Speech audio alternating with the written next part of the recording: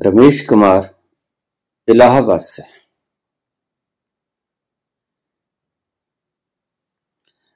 क्या सनातन धर्म आज खतरे में है? और धर्मो रक्षति रक्षत के वाक्यानुसार क्या हमें आज सनातन धर्म की रक्षा करनी चाहिए? आप क्या कहेंगे बाबा? प्रश्न आगे भी हैं। मैं यहाँ तक निपट लू, फिर आगे चलूँगा। मैं अकेला ही चला था मंजिले, मैं अकेला ही चला था जानबे मंजिल की ओर। लोग साथ आते गए और कारवां बनता गया।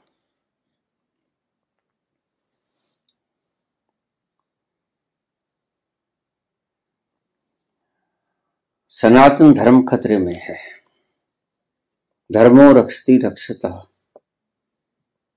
क्या होना चाहिए? प्रश्न ही गलत है। प्रश्न रेपिटेशन से भरा है। पुनरुक्ति है प्रश्न के शब्दों के भीतर।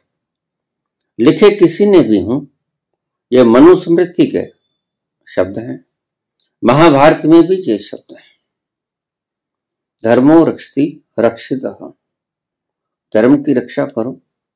धर्म तुम्हारी रक्षा करेगा।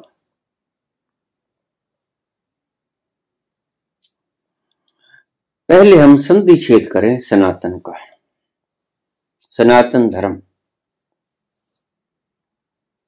सनातन का अर्थ है वह जो सदा है, था और रहेगा। सनातन, जिसका कोई आदि, मध्य और अंत नहीं, जो सदा से है, था, रहेगा। सनातन का ये अर्थ है। विच इज़ इमोर्टल जो था, है, रहेगा, मरता नहीं, सदा से है। आदि नहीं, मध्य नहीं, अंत नहीं। सनातन का ये अर्थ है। और धर्म का क्या अर्थ है? धर्म का अर्थ है तुम्हारा स्वभाव। ये जो तुम हिंदू, मुसलमान, सिख, ईसाई, यहूदी, पारसी, इनको धर्म कहते हो, ये धर्म नहीं है। ये संप्रदाय। और ऐसे बहुत से संप्रदाय आते जाते रहेंगे। बौद्ध आए, जैन आए, आज भी हैं। लेकिन ये धर्म नहीं है। इनमें से कोई भी धर्म नहीं। लेकिन सनातन धर्म, ये पुनरुक्ति हो गए। या तो सनातन कहो, या धर्म कहो, दोनों का मतलब एक है। धर्म का मतलब जो सनातन है जो तुम हो और तुम सनातन हो। सनातन का अर्थ जो कभी मरता नहीं, सदा से है, था और रहेगा। अब मेरी बात का जवाब दें।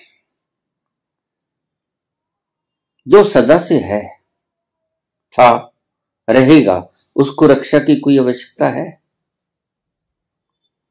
धर्मो, रक्षती, रक्षित है। जो सदा से है, था, रहेगा, वही धर्म है।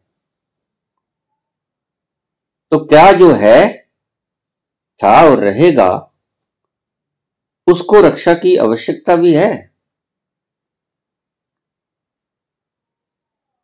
जो इमोर्टल है, जो अमर है, जो मरता नहीं, उसको रक्षा की आवश्यकता है।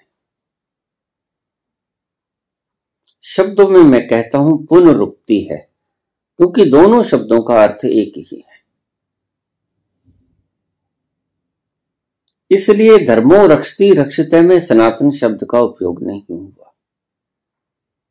सीधा सीधा धर्म की रक्षा करो, धर्म तुम्हारी रक्षा करेगा। इसका अर्थ गलत बनाया गया, ऋषियों ने गलत ले लिया, आपके व्याख्याकारों इसका अर्थ कुछ और था, वास्तविक। हम पहले सनातन के ऊपर आ जाएँ।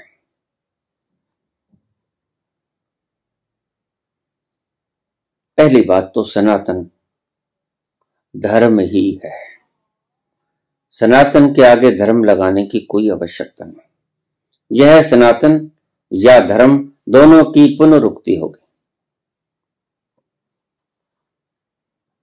सनातन जो सदा से है और धर्म जो सदा से है और जो तुम हो, जो तुम्हारा स्वभाव है।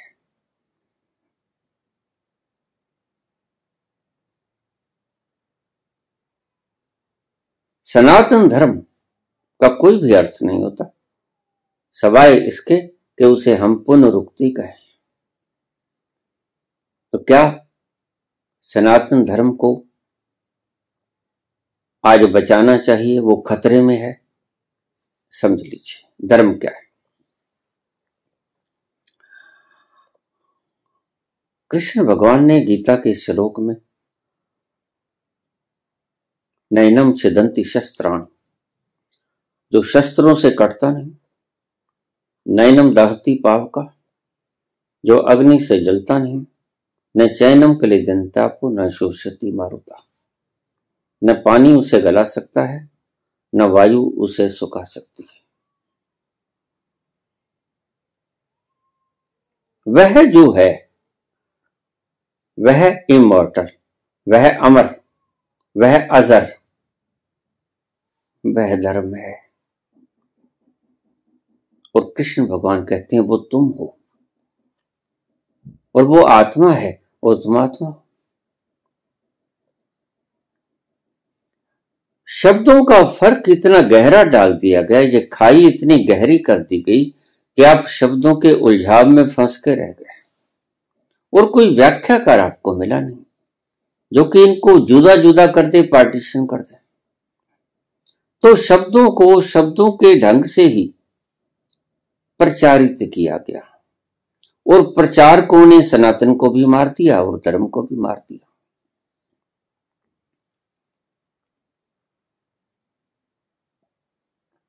सभी धर्म सनातन है।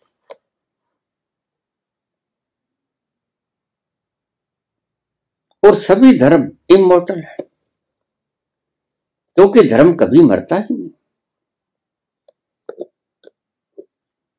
धर्मों का आत्यंतक स्वरूप इमोटल है। धर्म अपने आंतरिक स्वभाव में अजर अमर है। इसलिए पहली बात, जो खतरे में पड़ जाए, वो धर्म नहीं होता। धर्म कभी भी खतरे में नहीं पड़ता।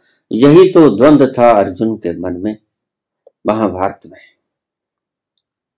मैं इन्हें कैसे मारूं? गुरु हैं, पितामह हैं, मेरे भाई हैं। मैं नहीं मार सकता इन्हें। और वही राज खोला भगवान कृष्ण ने कि जिन्हें तू देख रहा है, वो वैसे नहीं है जो सत्य में है। ये शरीर जिन्हें तू देख रहा है, और ये हैं जो स्वभाव से, वो वो नहीं है जिन्हें तू देख पा रहा है। वो वो है जिन्हें तू देख नहीं पा रहा। और सात सौ श्लोक की गीता चले। बहुत समझाने की चेष्टा की। अर्जुन नहीं समझा। और आखिर में, अठारहवें अध्याय के तिहत्तरवें श्लोक में, अर्जुन का मुख भंग हुआ। जब शक्तिपात किया गया, अर्जुन के ऊपर, भगवान कृष्ण ने शक्तिपात किया। शब्दों से समझ नहीं आता, इसका अर्थ यह भी है। भगवान कृष्ण ने बड़े शब्दों का उपयोग किया।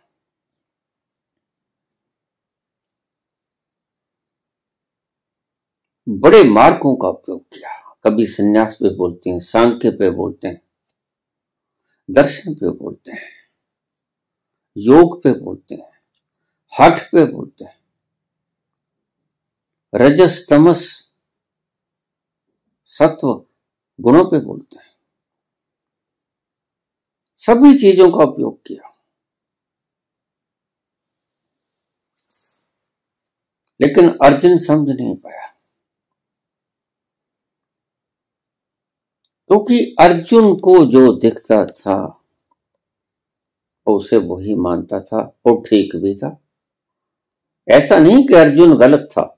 अर्जुन को वो शरीर की भांति दिख रहे थे और वो शरीर की भांति उसे मान रहा था। लेकिन कृष्ण को वो शरीर की भांति नहीं दिख रहे थे। कृष्ण अपनी जगह ठीक थे, अपने तल पे ठीक थे और अर्जुन अपने तल पे ठीक था।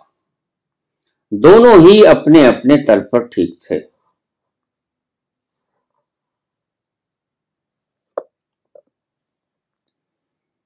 सनातन धर्म की हमें रक्षा करनी चाहिए।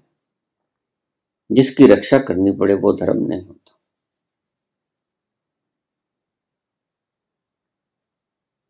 जो सत्य सनातन है, जो सदा से मौजूद है, आद सच जुगाद सच, है भी सच, नानक होसी भी सच। यही शब्द का अर्थ है जो बाबा नानक ने कहा सनातन का अर्थ यही होता है। था, है और रहेगा। तो उसको बचाने की आवश्यकता क्या है जो कभी मरता है? अगर तुम्हें उसे बचाना पड़ेगा, या तो तुम बुद्धू हो, या वो धर्म धर्म नहीं जिसे तुम बचाने की चेष्टा करते हो। या बचाने वाले बुद्धू हैं, या जिस धर्म को बचा रहे हो, वह धर्म है नहीं। धर्म को कभी रक्षा की आवश्यकता ही नहीं पड़ती। संप्रदायों को रक्षा की आवश्यकता पड़ती। है आत्मा को कभी रक्षा की आवश्यकता पड़ती? आत्मा के बारे में तो कृष्ण कहते हैं, जलती न मरती न गलती न सूखती। शरीर को रक्षा की आवश्यकता पड़ती है। भोजन भी चाहिए, सर्दी, गर्मी, तूफ़ान भी बचना है।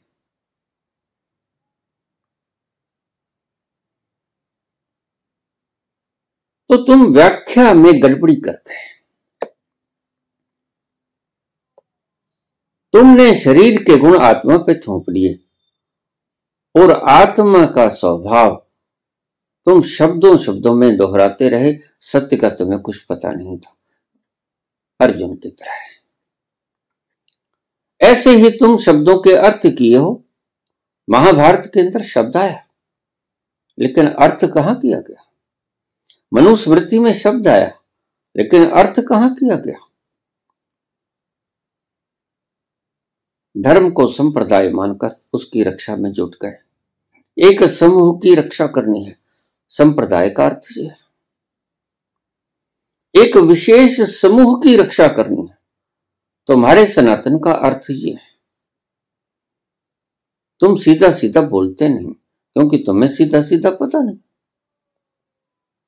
तुम्हें जो सिखाया गया तुम्हारे शस्त्रों में, तुम्हारे गुरुओं ने, तुम्हारे आचार्यों ने, वही तुम्हें सत्य जैसा भान पड़ता है। इसलिए तुम खुद ही दुविधा में हो। ऐसे ही अर्जुन दुविधा में था। लेकिन अर्जुन बड़ा समझदार था। क्योंकि अर्जुन के सामने जो मुसीबत खड़ी थी, वो शाब्दिक नहीं थी, वो यथार्थ की थी। युद्ध की घोषणा हो चुकी थी, शंख बज चुके थे। आमने सामने दोनों फौजें खड़ी थी, डटे खड़े थे। सभी महारथी योद्धा, इधर भी, उधर भी।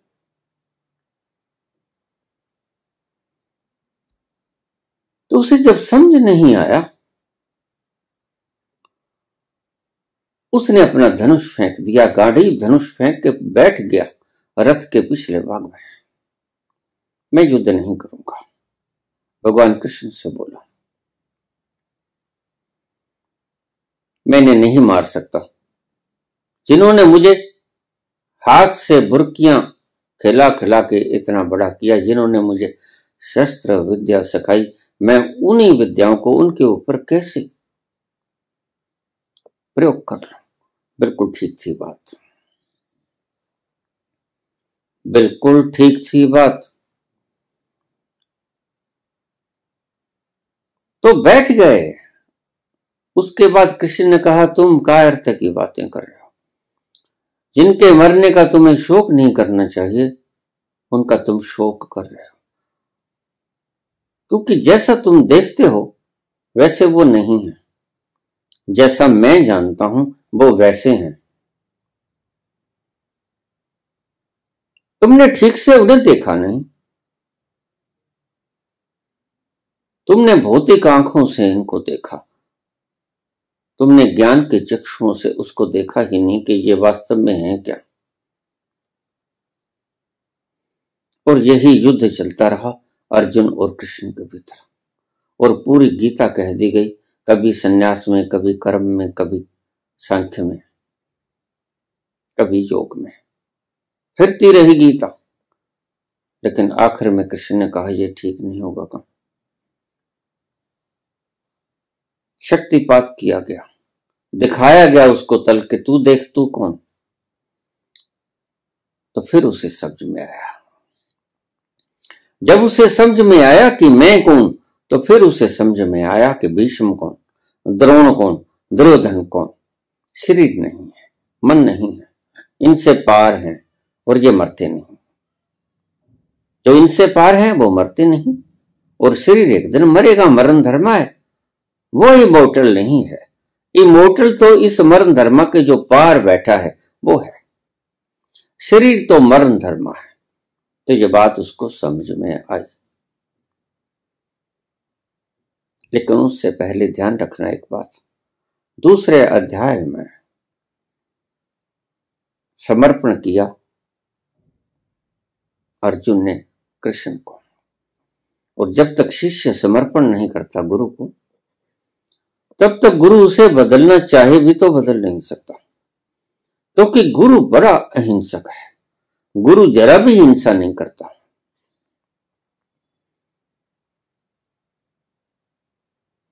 अर्जुन कहने लगा, कार्पण्य दोषोपहत स्वभाव। मैं, मेरे भीतर कायरता का दोष है। मैं कंप रहा हूँ, कंप भी रहा था। सत्य भाषण था उसका। कार्पण्य दोषो, मेरे में दोष है कायरता का। स्वभाव पृछामी त्वाम धर्म चेता। आप तो धर्म के मामले में संपन्न हो। मैं मूढ़ हूँ, अज्ञानी। यक्षरया से अनिश्चित ब्रूहि तन में। मेरे लिए इस वक्त क्या हितकारी है श्रेष्ठ? वो कृपा करके मुझे बखान कीजिए। शिष्यस्ते अहम मैं आपका शिष्य हूँ। मैंने आपको समर्पण कर दिया। अब कराओ जैसा आप करवाना चाहते हो मुझसे। शादी माम त्वम प्रपन्नमा। मैं आपकी शरण में आया हूँ। मुझे स्वीकार करो और मुझे निर्देश करो मुझे क्या करना है। और जैसे ही कोई व्यक्ति शिष्यत्व के भाव से भर जाता है, उसके ऊपर कुछ गिराया जाता है। गिराया जा सकता है। अगर तुम हिमालय की तरह अड़े रहोगे अपने अहंकार के भीतर तो तुम पे कुछ भी नहीं गिराया जा सकता। और वो गराना व्यर्थ भी हो जाएगा। भला गटर के अंदर घृत डालने का अर्थ भी क्या है?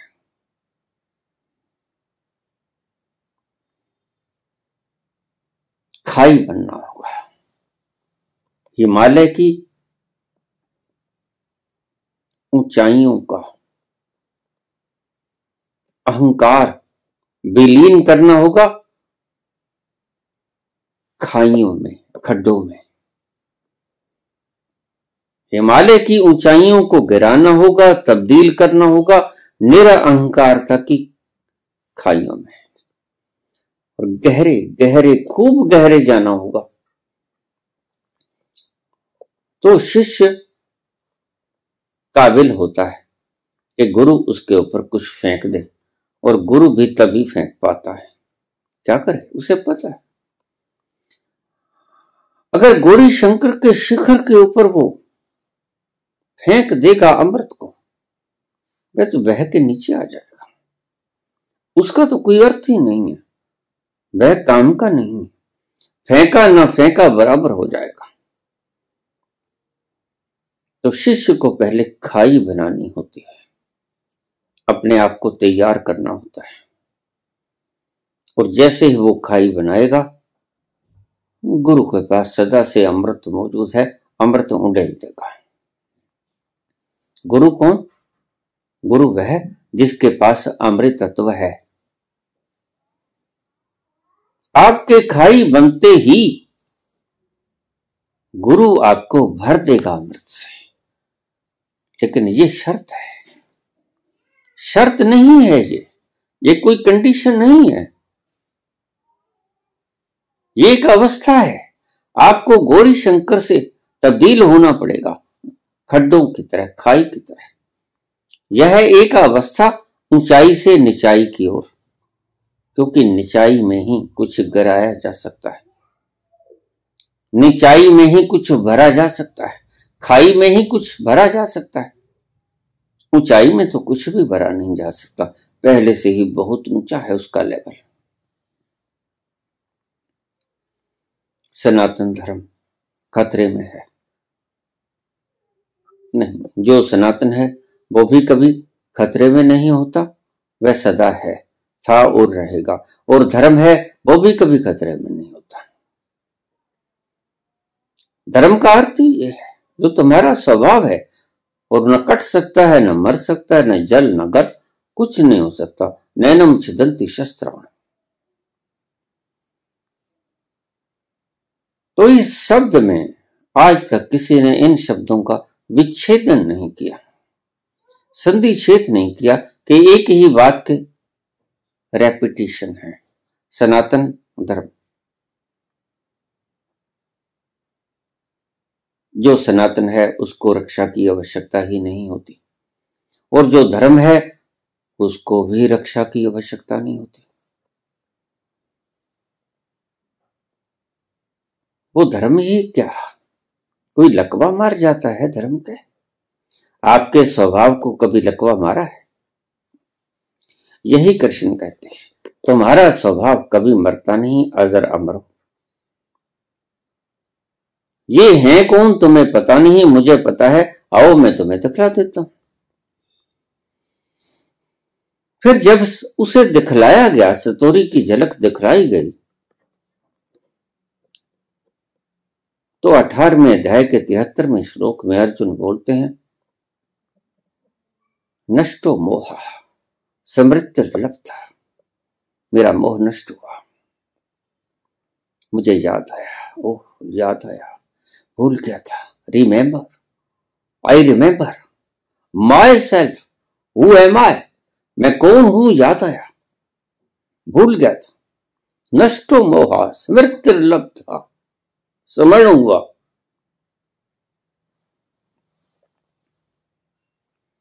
सनातन धर्म। ना सनातन मरता है, ना धर्म मरता है। और इनको रक्षा की कोई आवश्यकता नहीं। संप्रदाय मरते हैं। संप्रदायों की रक्षा की आवश्यकता होती है। इसलिए धर्म की बात मत करो, हटा दो धर्म को। हिंदू धर्म मत करो। ईसाई धर्म मत कहो। इस्लाम धर्म मत कहो। इस्लाम को रक्षा की आवश्यकता नहीं, ना ही धर्म को रक्षा की आवश्यकता है। तो मैंने संप्रदाय कहो, हिंदू संप्रदाय। मुस्लिम संप्रदाय। व्यवधान ना फैला, पैदा करो शब्दों के द्वारा।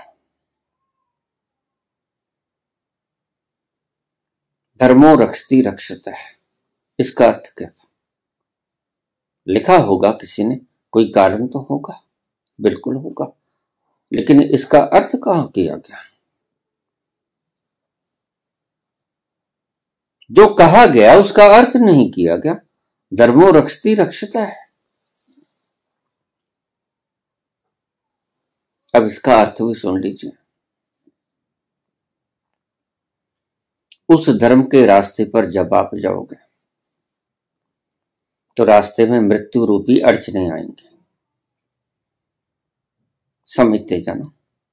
एक एक बात को हृदय में उतारते जाना। जैसे ही आप उस इमोर्टल की तलाश में जाओगे, जो आप हो,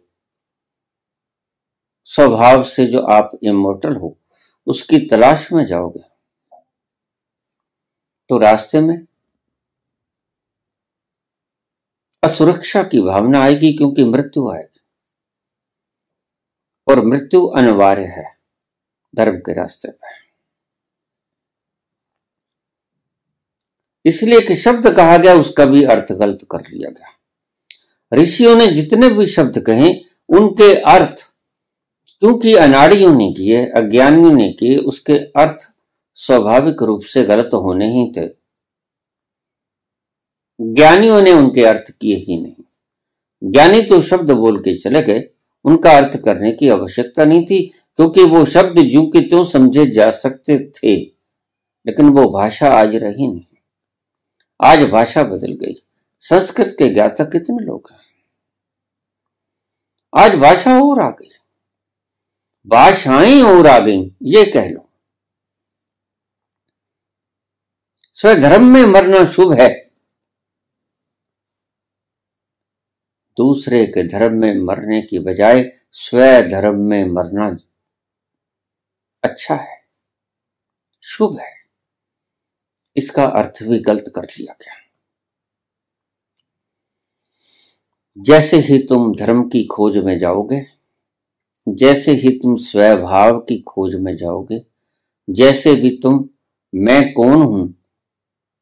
हु एम आई इसकी खोज में जाओगे तो सबसे बड़ा जो रोड़ा आएगा, अड़चन आएगी ऑब्स्ट्रक्शन आएगी, वो बाधा आएगी, मृत्यु की। मृत्यु मरना पड़ेगा। हिमालय को अगर खाई बनना हो तो क्या करना होगा? हिमालय की ऊंचाई को मरना होगा। यही बाधा बनेगी हिमालय की ऊंचाई कभी मरना नहीं चाहेगी और वो खाई कभी बने नहीं। यही डर पैदा होगा।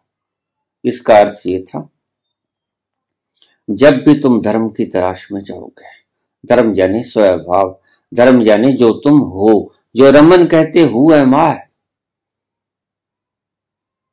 जो गुरुजीएफ कहते know thy self, remember your self self remembering. जैसे ही तुम उसकी तलाश में जाओगे, सबसे बड़ी उलझन क्या खड़ी होगी? मृत्यु। मृत्यु का भय तुम्हें सताएगा। क्योंकि तल बदलेगा। एक तल पर तुम शरीर हो, मन हो, विचार हो, भावनाएँ हो, और दूसरे तल पे मन और शरीर और भावनाएँ, इन सबसे परे इमोटल सत्य हो, आनंद स्वरूप हो, मस्ती रूप हो मदहोशी हो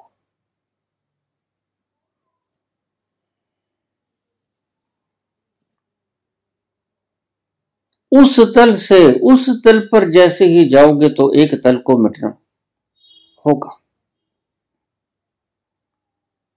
हिमालय को अगर खाई बढ़ना हो तो एक तल पर मरना होगा वो तल क्या है? ऊंचाई। ऊंचाई के तल पे मरना होगा, निचाई के तल पे जाना होगा। तो एक तल पे मरना होता है, सदा दोनों तलों पे बरकरार नहीं रहा जा सकता। या तो तुम हिमालय हो गए, या तो तुम खाई हो जाओगे। दोनों में से एक का चुनाव करना होता है। तो मनीषु ने कहा, जैसे तुम धर्म के मार्ग पे जाओगे।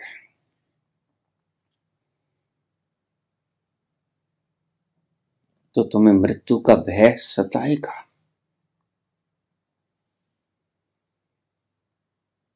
और तुम चिल्लाओगे, तुम कंपोगे, सूखे पत्ते की जानब कंपोगे।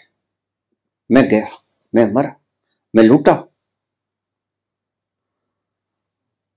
और उस धर्म की तलाश में निकले निकले तो मृत्यु के भय से अगर न कंपे, ना डरे तो तुम्हारी रक्षा हो जाएगी। वो कहते, मृत्यु तो दिखेगी, पर मरोगे नहीं।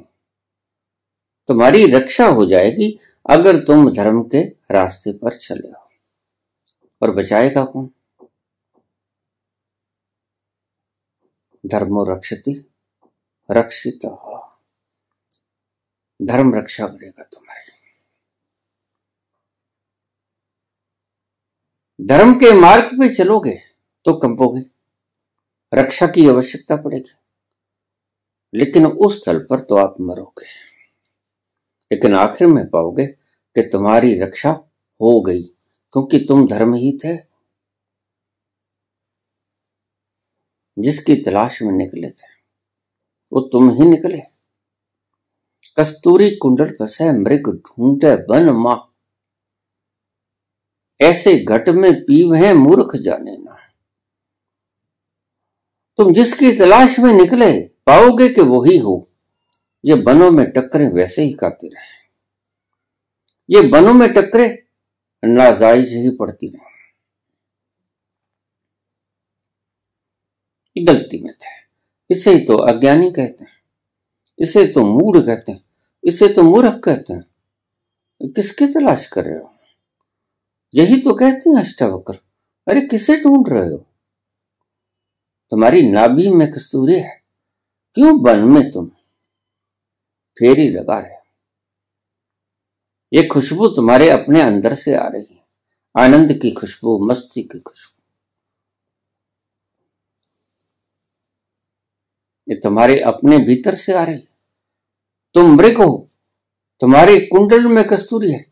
तुम्हें ये जो आनंद घेरता है। छोटे छोटे सिक्कों में। कभी अंतरंग क्षणों का आनंद चखते हो। कभी प्रेम का आनंद चखते हो, कभी स्वादिष्ट पदार्थों का आनंद चखते हो। तो जहाँ जहाँ आपको सुख मिला, वहाँ सीधा सीधा समझ लेना कि वहाँ वहाँ आपने ईश्वर के दर्शन किया झलक उसी के थे। लेकिन सुराख बड़े छोटे थे। जिसके भीतर से आकाश को देखा गया, वो सुराख बड़े छोटे तो जितना जितना छोटा सुराख आपको आकाश नज़र आया, आपने उसे ही होना समझ लिया। सुराख में से जितना आकाश नज़र आया, आपने उसको होना समझ लिया। तो आप उसी की तलाश में जुट गए। छोटे छोटे सुखों को एकत्रित करने की सुविधाएँ जोड़ने लगे। सुख साधन जुटाने लगे। सुविधाएँ जुटाने लगे। अंतरंग क्षणों के लिए स्त्री पुरुष संबंध बनाने लगे। द्रव्य इकट्ठे करने, उसमें आनंद आता है। तो इकट्ठे करते रहे। स्वादिष्ट पदार्थों को चखते रहे, उसमें आनंद आता है। अच्छी अच्छी मूर्तियों को देखते रहे। चलो हिल स्टेशन में, चलो फला शहर में, चलो फला मुल्क में। वहाँ सुंदर दृश्य देखने को मिलेंगे। तो इन छोटे छोटे आनंदों की तलाश में आप अज्ञान वश चक्कर लगाते रहे। लेकिन सुख मिला कहा? बाहर तो मिला किस्तों में। बाहर तो मिला सुराखों में से जागकर छोटे छोटे अनुभव हुए, लेकिन जैसे ही वो दीवार गराती गई छिद्र की जगह दीवारें ही पटक दी गई तो आपको खुला आसमान नज़र आ गया सारा। सतोरी, उस छोटे से सुराख में आसमान को, आकाश को देखने की कवायद है, तरीका है। छोटे से छिद्र में आकाश को देखने की तरकीब, सतोरी है। आकाश दिखता है, बिल्कुल। भरम टूट जाता है। क्या भरम के आकाश नहीं है? यह भरम टूट गया। आप नास्तिक से आस्तिक हुए, उसी क्षण, जिस क्षण आपको सतोरी की झलक मिले। और सतोरी की झलक मिलते ही प्रश्न खत्म हो जाता है। जिसको सतोरी मिली, जिसने अनुभव किया कि हाँ आकाश है, परमात्मा है। वह नास्तिक ना रह पाएगा और जो नास्तिक ना रह पाएगा, वो प्रश्न नहीं उठाएगा। उसको खुशबू आने लगी, बाहर की खुशबू भीतर आने लगी, उस द्वार के माध्यम से।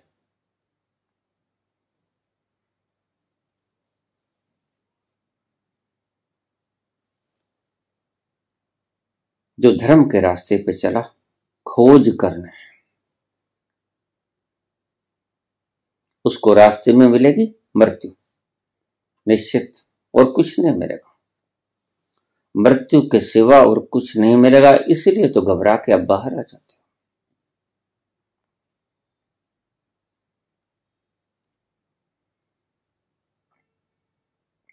आप जाते हो भीतर अपनी तलाश में। बाहर क्यों आ जाते हो? कभी सोचा आपने?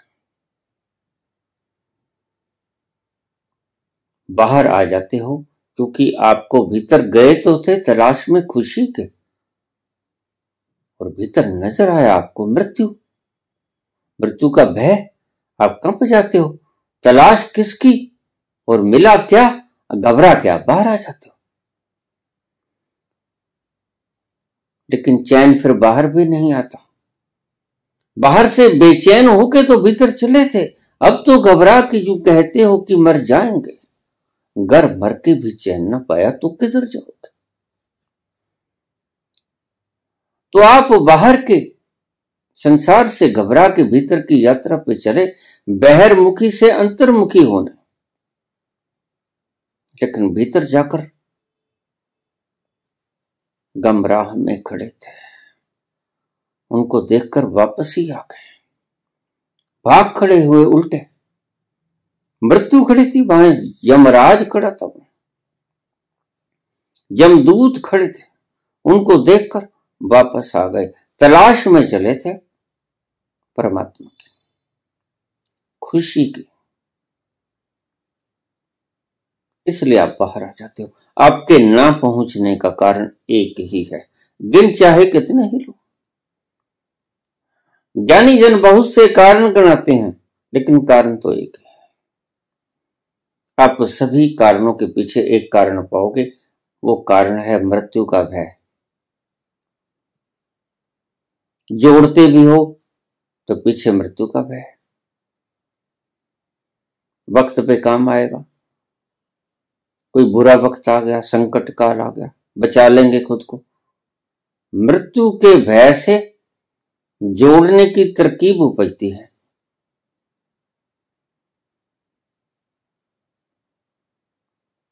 काम में भी उतरते हो। मृत्यु का भय तुम्हें पता है, मैं तो ना रहूँगा। मैं पुत्र के रूप में रहूँगा। मैं पौत्र के रूप में रहूँगा। मृत्यु के भय से ही तुम काम में उतरते हो। यद्यपि तुम्हें पता नहीं क्रोध में उतरते हो। वो भी मृत्यु का भय किसने आपका कुछ तोड़ फोड़ दिया, कोई भावनाओं को आहत कर दिया, कोई शरीर को आघात कर दिया? जिससे तुम मैं माने थे और मैं टूट गया, तुम्हें मृत्यु दिखी। और मृत्यु के भय से तुम कपे और क्रोधित हुए मुठियाँ लाल हो गई आँखें। दांत बिछने लगे, कपने लगे, गाली गलोच होने लगे। अहंकार, मृत्यु के भय से अहंकार भी आता जब कोई आपके ऊपर प्रहार करता है तो आपने अपनी इमेज बनाई है नकली। और नकली इमेज तो आज नहीं, कल टूटेगी। और जैसे ही नकली इमेज टूटेगी, आपको गुस्सा आएगा। गुस्सा आएगा तो आप फिर पुराना, वही जो अहंकार टूट गया, उसको फिर से पैदा करने की चेष्टा करोगे।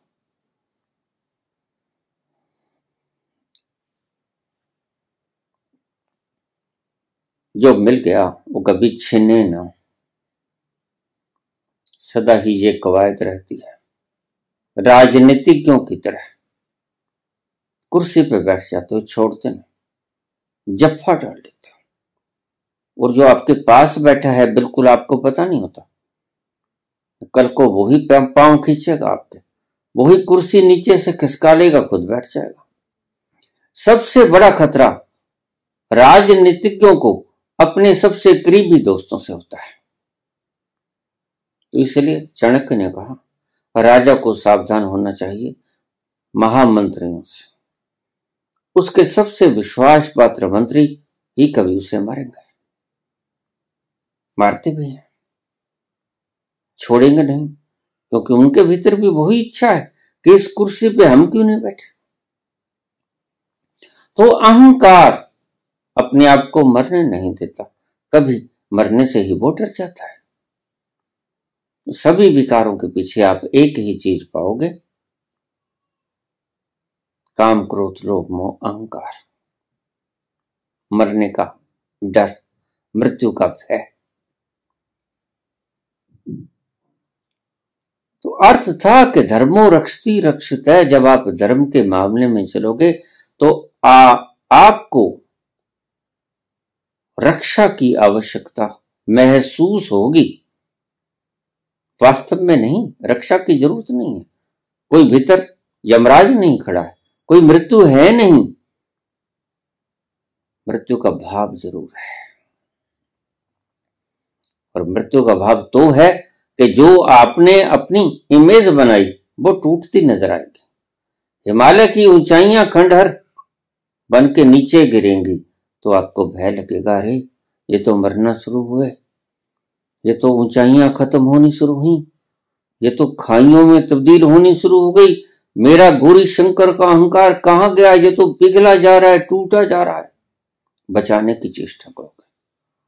लेकिन धर्म कहता है कि देखो, अगर मुझ तक पहुँचना है तो अपनी रक्षा मत करना। रक्षा मैं करूँगा तुम्हारी। धर्म रक्षा करेगा तुम्हारी तुम खुद की रक्षा करने में अपने आप को व्यस्त मत करो। धर्मो रक्षती रक्षित। है धर्म रक्षा करेगा। तुम रक्षा नहीं कर सकते तुम्हारी। तुम तो मरोगे। तुम तो टूटोगे।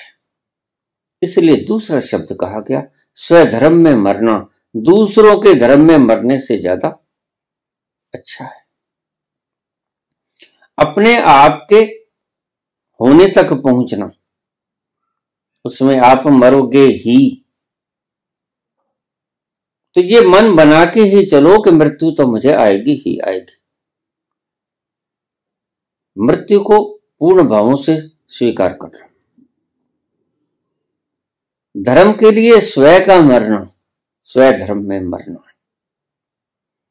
धर्म के लिए स्वय का मरना नकली स्वय का मरना जो आप अपने आप को स्वय समझे बैठे हो। आप स्वय समझे बैठे हो, अभी मैं मन हूँ, मैं इंद्रिया हूँ, मैं समृति हूँ, सभी का जोड़।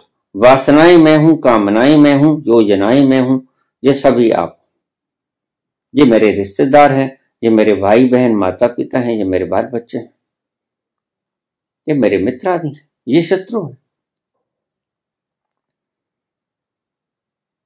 धर्म के लिए स्व का मरना शुभ है। अर्थ उलट लगा लिया। स्व धर्म में मर जाओ। स्व धर्म में तो मरोगे ही भाई। धर्म मिलता ही नहीं तुम्हारे मरने के बिना। मृत्यु के बिना। उस मालिक का प्यार कहा मिलता है? मोया बाज ना मिलदा सजन वे। मोया बाज ना मिलदा सजन वे। उस मालिक दा प्यार। मोया बाज न मिलदा सजन वे मृत्यु के बिना उस मालिक का प्यार मिलता नहीं। मरोगे तो उस मालिक का प्यार मिलेगा। मालिक कौन धर्म? मरना पड़ेगा। मरना आवश्यक घटना है। मोया बाज न मिलता सजन वे। उस मालिक का प्यार। मरने के बिना वो सच्चा धर्म आपको नसीब नहीं होगा। क्योंकि तो आपने जो गलत शिखर खड़े किए, अहंकार के वो झूठे हैं। और सत्य को अगर ढूँढने चले हो तो इन शिखरों को गिराना होगा और खाइयों में तब्दील होना पड़ेगा। इसका अर्थ ये था, धर्मो रक्षी रक्षित है धर्म के रास्ते पर अगर जाओगे तो तुम्हारी रक्षा तुम नहीं कर सकोगे। तुम्हें तो मिटना पड़ेगा। धर्म तुम्हारी रक्षा करेगा, यानी तुम चिंता मत करो। अहम तो सर्व पापे भो मोक्ष श्यामी माशुच मैं तुम्हारी रक्षा करूँगा। सभी प्रकार के पापों से। तुम अपनी चिंता छोड़ देना। जब तुम धर्म की तलाश में जाओ, तुम अपनी इच्छा छोड़ देना। तो मृत्यु को पूर्ण भावों से, पूर्ण प्राणों से, आंतरिक हृदय के तलों से स्वीकृत कर लेना कि मर तो गए बस। जैसे एक फौजी बॉर्डर के ऊपर अपनी मृत्यु को स्वीकार करके चलता है। बिल्कुल ऐसा है।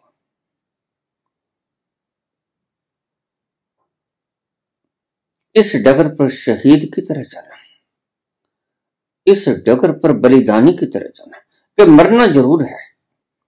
मृत्यु तो आएगी, पक्का। विश्वस्त हो जाना इस चीज़ के बारे में। धर्मो रक्षती रक्षत, धर्म ही आपकी रक्षा करेगा। आप अपनी रक्षा मत करना अर्थ उल्ट लगा दिया गया। धर्म की रक्षा करो, धर्म आपकी रक्षा करेगा। नहीं, ये अर्थ नहीं था। ये गलत है। कोई धर्म इतना पंगु है, कोई लकवा मार के है धर्म को। धर्म तुम्हारी रक्षा करेगा अगर तुम धर्म के रास्ते पर चलोगे। अगर तुम धर्म की खोज में चले तो मरने का भय तो आएगा। कंपोगे तो सूखे पत्ते की तरह। लेकिन डरना मत। धर्म तुम्हारी रक्षा के लिए सदैव मौजूद है। आद सच, जुगाद सच। है भी सच, नानक होशी भी सच। वो सदा ही तुम्हारी रक्षा करेगा स्वधर्म में मरना पर धर्म में मरने से श्रेष्ठ बिल्कुल ठीक है। क्या गद्दियों के लिए मरते हो? ये पर धर्म है। गद्दियाँ तुम्हारा स्वभाव नहीं। तुम्हारा स्वभाव तो आंतरिक, तुम्हारा स्वभाव वो है जो तुम हो, वास्तव में हो, वो है तुम्हारा स्वभाव। पर धर्म में क्या मरते हो? गद्दियों की छीना छपटी में भी क्या मरते हो? ये धन के इकट्ठा संग्रह करने में हिमालय पर्वत के समान धन का अंबार लगा देने में भी क्यों मरते हो? क्यों ज़िंदगी जाया करते हो?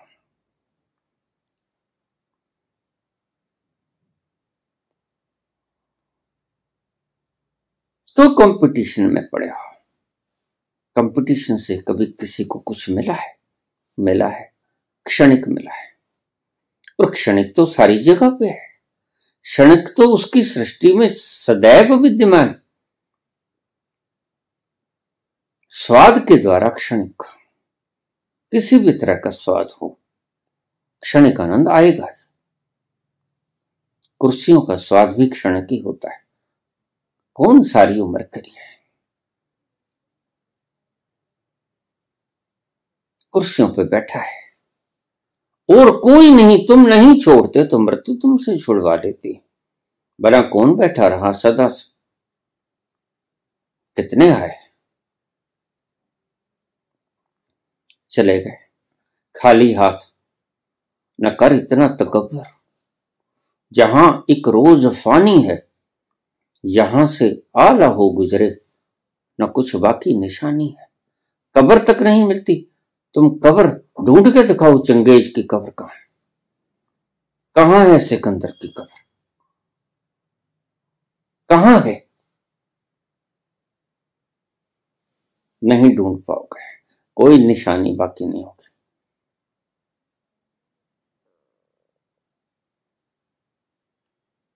पर धर्म में मरने की बजाय स्वधर्म में मर जाओ। इसका अर्थ बहुत गलत निकाल लिया गया। असल में, इन व्याकरणाचारों ने जितना घमासान पैदा किया है, ज्ञानियों की धत्त करवा दी इन्होंने। इन अज्ञानियों ने, इन व्याकरणाचार्यों ने, इन शब्दों के अर्थ करने वालों ने बड़ा घमासान मचाया है, बड़ा पाप कमाया है। इन्होंने कोई शब्द छोड़ा ही नहीं जिसका अर्थ का अनर्थ ना करते। पर धर्म में मरने के अलावा स्वधर्म में मरना श्रेष्ठ है, बिल्कुल ठीक है, लेकिन अर्थ कहाँ ठीक किया गया इसका? पर धर्म पर क्या है? जो तुम नहीं हो, वो पर है। ये कुर्सी की दौड़ पर है, ये धन की दौड़ पर है, ये मान सम्मान की दौड़ पर है। सभी कलेक्शंस की दौड़ पर है। और स्व क्या है? स्व वह है जो तुम स्व हो, सदा से हो, सत्य सनातन हो। सदा से हो, थे और रहोगे, वो तुम हो, वो स्वयं हो। ये था इसका अर्थ। अर्थ का अनर्थ कर लिया गया। और जब अर्थ का अनर्थ होता है तो जो मासूम भोले होते हैं, वो गुमराह हो जाते हैं। जो बेचारे जिनका कोई कसूर ही नहीं होता, उनकी गर्दनें कट जाती हैं। तुम्हारे इन गलत अर्थों के कारण वो मारे जाते हैं बेचारे। किसी माँ के लाल, किस, किसी बाप की पुत्रियाँ इन्हीं अनर्थों की वजह से मर जाती हैं। जीवन से हाथ धो बैठते हैं। तुम्हारी इन्हीं अर्थों के अनर्थ करने से स्वधर्म में मर जाना श्रेष्ठ है पर धर्म में मरने की अलावा बिल्कुल ठीक है। शब्द ठीक था, लेकिन अर्थ करने वालों ने तो बहुत गुनाह कर दिया। इसका अर्थ था कि कोलेक्शन के लिए मत मरना, बाहर के द्रव्यों को इकट्ठे करने में मत मरना। अगर मरना ही है तो अपने धर्म में मर जाना। वहाँ भी मृत्यु छेड़ेगी आपको, वहाँ भी कपेंगे तार तुम्हारे वीणा के वहाँ भी झंकृत होंगी, डर की आवाज़ें। थर्राओगे कपोगे चारों तरफ़ दुश्मन ही खड़े खड़े नज़र आएँगे।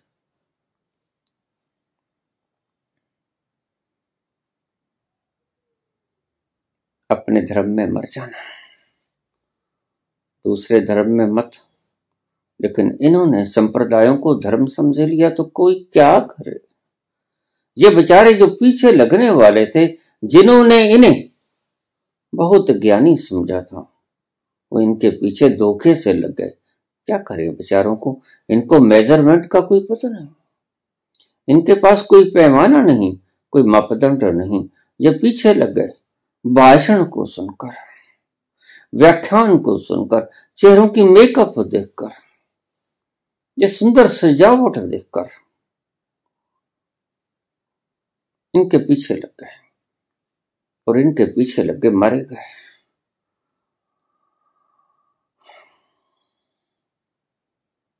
अर्थ यह है, स्वधर्म में मर जाओ, अपने धर्म की खोज करते हुए मृत्यु आएगी।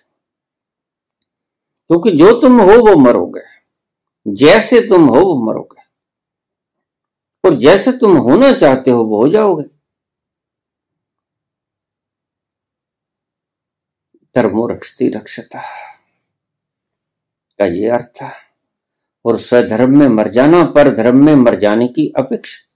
बिल्कुल ठीक था अर्थ, लेकिन अर्थ मैंने समझा दिया है। इन गलत अर्थों को छोड़ दो। सही धर्म की तरफ़ जाओ। सही अर्थों को पहचानो। सही धर्म की तलाश करो। बाहर नहीं है धर्म। बाहर तो मात्र इकट्ठ हैं। समूह हैं। समूहों को तुम संप्रदाय कहते हो। और संप्रदाय को तब्दील किए हो धर्म में, लेकिन धर्म संप्रदाय तो है नहीं।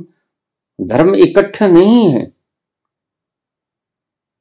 लोगों का समूह धर्म नहीं हुआ करता है। धर्म तो तुम्हारा आंतरिक स्वभाव है। आत्यंतिक स्वभाव उसको धर्म कहते हैं। और धर्म के अपने स्व धर्म में मर जाना, पर धर्म में मर जाने के बजाय। द्रव्य इकट्ठे करने हो, मत मरना, मरोगे तो। पक्का मरोगे। कोई बचा नहीं सकता।